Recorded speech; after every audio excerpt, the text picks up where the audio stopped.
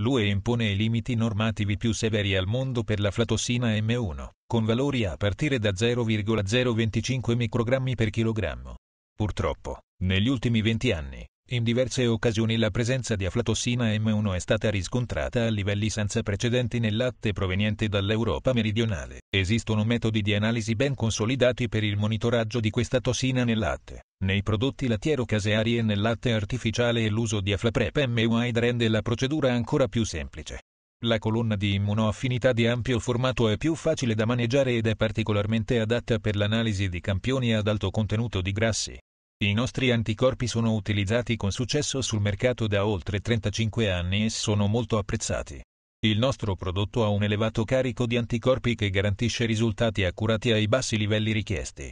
La colonna di immunoaffinità assicura una pulizia superiore con conseguente riduzione dell'interferenza cromatografica.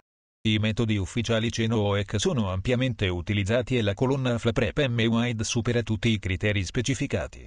Inoltre, la colonna di immunoaffinità ha dimostrato di funzionare bene in prove multilaboratorio ed è stata convalidata su diverse matrici lattiero-casearie complesse come burro, yogurt e gelato.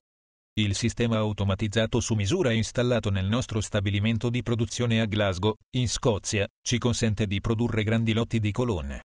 Questo permette ai nostri clienti di ridurre i controlli di qualità interni e di prenotare le scorte in modo più semplice e pratico. Inoltre, il numero di lotto è inciso singolarmente su ogni colonna, migliorando la tracciabilità.